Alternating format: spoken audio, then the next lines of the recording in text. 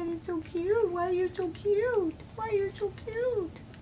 Hello everybody, this is just a quick update video since so many people have been messaging and emailing and wondering how we're doing. So I thought I would pop in and say hello. So hello, it has been a crazy week. Definitely one of those weeks where you really appreciate modern conveniences. Um, we lost power on Sunday night. It was about 18 degrees. It was pretty rough. Lots of burst water pipes and there's a giant hole in my bathroom wall now from the shower and it was really cold and no fun at all but everybody is fine we're healthy and we did manage to keep the puppies totally warm I guess I should probably announce that we had a brand new litter of puppies born a day after this last litter went home. I don't have them in a separate room. I, I really keep them in the middle of our living room so that they get the most action because I kind of want to watch them all day long and make sure mommy's okay all day and, and be right there. So I put them up on um, a heating pad and then they have their little bed on top of that heating pad and then this power outage happened and we had newborn babies. When you're living in a place where the infrastructure is not set up for that kind of cold, it's incredible the kind of damage that it can do. Um, the first day, it didn't even occur to me that driving would be dangerous because I'm so accustomed to driving in that New York, New Jersey area. And so here, there's no rock salt stockpiles, there's nobody spraying the roads. The ice was everywhere. I mean, it was just black ice everywhere. It was not safe to drive. And that's when it started hitting me like, I'm not on the East Coast anymore. This is not an area that is accustomed to this weather and so the road quickly turned into a mess. That kind of cold, weak spots are going to crack. You're going to get potholes everywhere. I mean, we live really far south. I'll actually put in a picture. We're pretty down south, and um, it doesn't snow here. so when we left the East Coast, actually, my kids were all bummed that they're like, oh, we're never going to see snow again unless we go visit it. And then just this year is crazy, right? Well, last year was the last. It's been pretty crazy lately. I don't know if it's gonna stop. Maybe crazy is the new normal at this point. But um, yeah, so as a result, nothing is weatherproofed. You know, our well burst at the top of the well. It froze and burst. So we just had water just shooting up into the sky. Um, water pipe burst in the garage, flooded the garage. Yeah, it was not fun, and there was no heat because everything here is all electric. There's no natural gas, which is weird because Texas is powered on a lot of natural gas, but we don't have natural gas piped down in this area, so I just have electricity for heat, and that's it. So when the heat went out, we had nothing.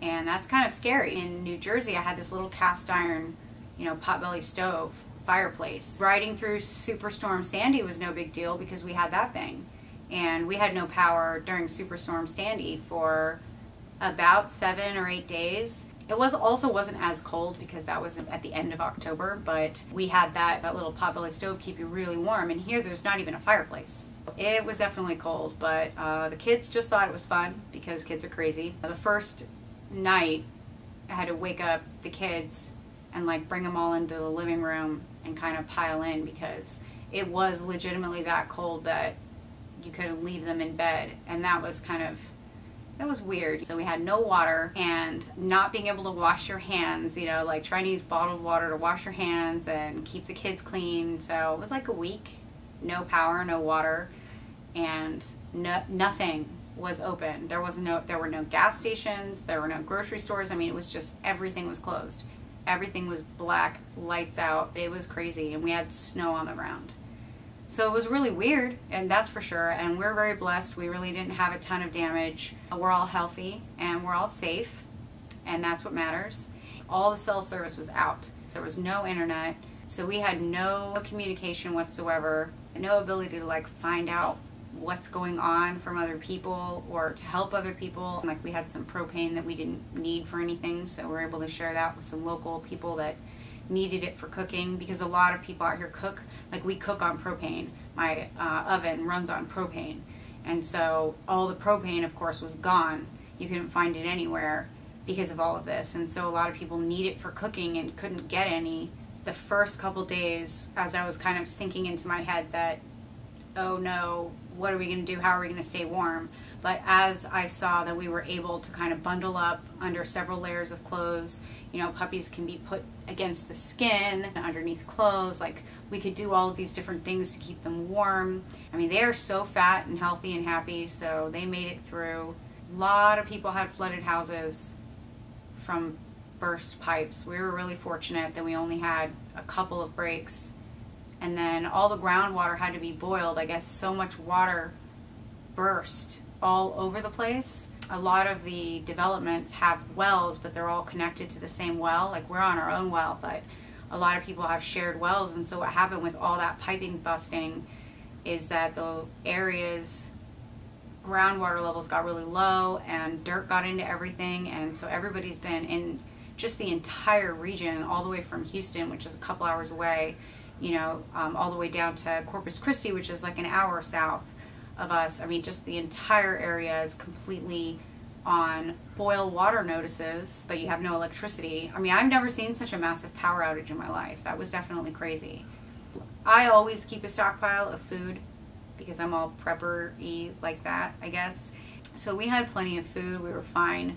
And, and we are so stocked up on flashlights and batteries, so it was just a lot of shadow puppets on the walls and reading and uh, trying to utilize the experience to kind of teach the kids a little bit about how people used to live. The kids all got through it just fine. I think kids just think it's fun. I packed away our gloves and our our hats and our heavy coats because I was so excited to not need them again. And uh, and then I didn't know where they were.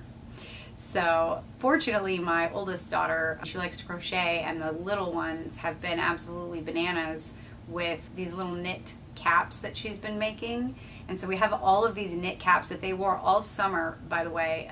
Uh, they did not want to take them off. And so they had all these little warm hats that they could put on. We had to dig things out, you know, boots and all kinds of stuff. I mean, it was 70 degrees before the cold snap hit. So, it, you know, it was pretty crazy. Today was 55. We have our power back on, as you can see, finally and um, today we got our water running again. Unfortunately, the sand that once the pipes all break like that, and gets all this dirt and sand into the pipes. So that meant that all the sand goes through all of the piping in the house and gets caught behind all the screens on all the faucets into the washing machine line. Um, oh my gosh, just trying to do laundry, which we had plenty of for a week, and dishes, but there was sand and dirt and just probably pathogens in absolutely everything, in everything. So, you know, the washing machine had to be cleaned out and flushed out. The hot water heater, oh my gosh, it was just such a nightmare. And then the shower, as I said, the shower broke, and that's our only shower um, because we have a bathroom. I know for uh, six girls in this house and one boy, and we have a bathroom and um, and no water to flush the toilet. So we have a big fishing pond and so we were hauling, you know, big five gallon buckets back and forth from the pond so that we could flush the toilets. So try, you know, potty training a three year old in a 20 degree bathroom. It is not exactly fun. It was kind of a surreal experience. You just didn't, I just didn't expect it, right? Like you just did not expect our first year in the very south of Texas, like right off the Gulf to be snow on the ground. but there you go you know, it's rough because you see all of these really small businesses out here. A lot of these really small family owned farms just had brand new crops starting to come up and they're all dead. Everything's dead from that. And every restaurant in the area lost all its food. I can't even imagine how much money in stock and, and just supplies those restaurants all lost because they had zero power. They were closed for a week. And we just got back open not that long ago, and this area is not a wealthy area. There were a lot of people in the area too that are living in campers and like little trailers and stuff. You're not very insulated in a little camper. You're not very insulated in a trailer. So I can't imagine what it was like for those people. And of course, then you always see all of the disasters and the accidents of the carbon monoxide poisoning, the car accidents that happen, and it's just really sad. It's a very sad situation. I can't even imagine what the power workers had to go through. We're very, very grateful to the Texas power workers because once that power got off and then everything froze, when they reopened it, they said that everything was just blowing. just nonstop for those guys trying to play, you know, catch up to this like patchwork quilt of destroyed infrastructure. There have been a couple of local contractors and um, construction workers. They were going around helping people fix their pipes and things like that, and they wouldn't even take money. Like they wouldn't even take what little cash for a tip and just say bill me and like here's a tip. And they were out there with that water from the well just shooting out and they were out there trying to stop the well water from shooting out everywhere and to fix it. And every time they would fix one piece of the well, another piece just further down was cracking. It was just cracking and breaking, just left and right, just brittle. And they were out there fixing that for a really long time and had to come back several days in a row to fix all these pipes. And they didn't even take any money. They wouldn't even take any money. And so I'm definitely going to be baking some pies and bringing them over because not only was it really amazing that those men were so willing to give up their time like that to help people that are basically strangers, um, but also, you know, their families. I'm sure that they wanted to be home with their wife and kids, making sure that they're okay also. And so they're in, it's not just the sacrifice of those men that were out working hard, but also their entire families. So I'm definitely very grateful. It definitely um, humbling, I think. It was just a bit surprising and it was very generous and just keep seeing things like that over and over in the community of people helping each other out. So I think that's about it, but the puppies are doing good. Look at this fat puppy though, seriously? She's fat. Hello, hello, hello. How are you? What are you doing, babies? Look at your pretty little white chest.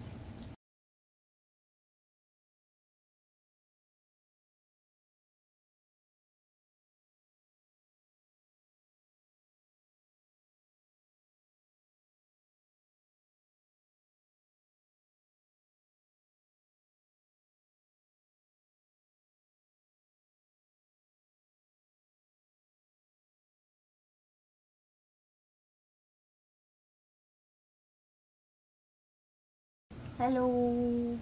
Hello. I'm not your mom. I'm not your mommy. Aww.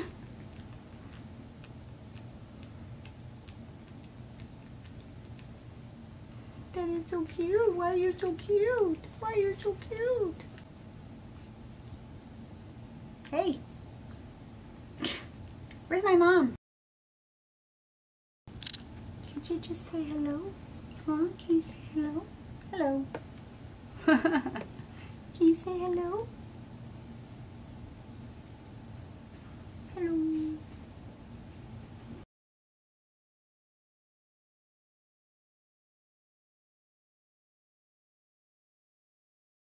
So thank you everybody for being worried about us. Um, I have finally started getting all those emails. Um, there are a lot of them to go through, so if I don't get back to you right away, Please don't take it personally at all. There's just so many emails. I really appreciate all of the concern though. I do want to get some videos up that are, you know, good puppy videos for you guys. We're getting things back together, getting, uh, getting things going over here.